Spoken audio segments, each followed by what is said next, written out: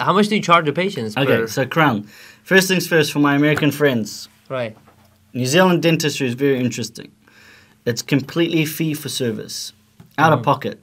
One New Zealand dollar is 0.6 US dollars. Correct. And so if we're both charging the same thing, Sure. technically I'm. yeah, 40% less. Forty percent less. But our tax is very similar. Everything's very similar. So Crown, Right. Crown is six, 1,650 New, New Zealand New dollars. Zealand dollars. So it's probably forty percent. Less. And that's considered mid. Some people charge two grand. You so know, about a like. thousand dollars. Similar to US.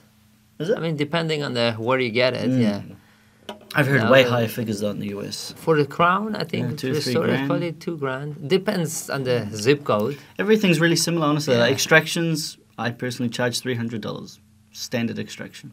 What about uh, implant?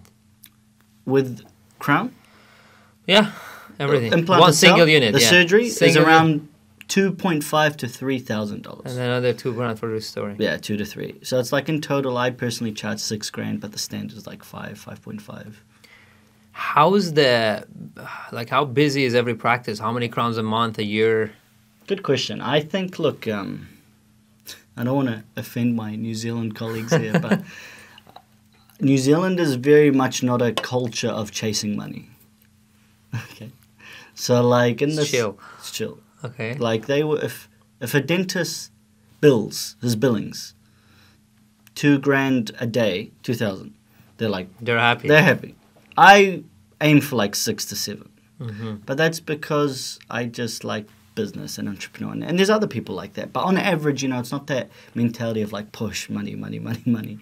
But let's say uh, your question was crowns a, a, a week. I think on average they would do one or two a week.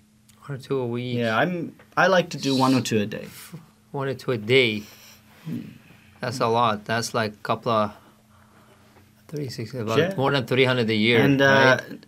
and yeah, something like that. And more. It's 500 um, a day. You can check out my Instagram by the way. Just per, shameless pra- plug. per practice or Per associate dentist. associate. One, one a day, I would say, is decent. that's a lot. Not normal. That's like you're doing quite well. But I would say the average is doing like one or two a week, average. And in terms of busyness, I think, look, the funny thing about New Zealand, we've got about 3,300 dentists and a population of 5 million. Five million.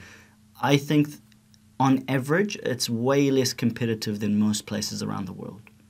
hmm There's, it's just like if you open a practice, unless you're really downtown in our biggest city, which is Auckland, which is Mhm. like 2 million population or something, unless you're downtown there, most suburbs you can open and have like basically 5,000 population with no dentists. Some suburbs, 30,000, no dentists is there.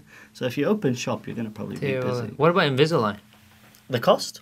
The yeah same. Same. Always Same. So like Invisalign, look, it depends. Some people try to undercut the market and just get a lot of cases, so they'll charge like five, six thousand per case. I charge around eight thousand, and our lab fee for Invisalign is around three and a half thousand New Zealand. New Zealand, it's the same thing. Everything's same. I'm telling you, I'm, I, I was asking people and I was surprised. It's just the reason why it sounds like US Americans make more money is because it's US dollar. When you guys take out the US dollar into other countries, it's stronger. Yeah. Whereas when I bring my New Zealand dollars, even though we're making the same money, it's like forty percent weaker Yeah, nah, I hear you on that. So how much do you guys net a year? net. I can tell you what we gross net. Honestly, I have nothing. No, let's do gross. Let's do gross because net Net- changes and how much yeah, you invested in, and the entire group would be over fifteen million. 15 million Mm, over fifteen. of nine, so it's over uh, 50, one. That's pretty good. Yeah, like we push them That's hard. Like, very good. You, my dad runs a tight ship. Like we really, we we really train hard and like talk about numbers. Something that's not super common in New Zealand. It's it's not a society of talking about numbers and like sort of corporate vibes. But we don't we don't want to be like a big DSO.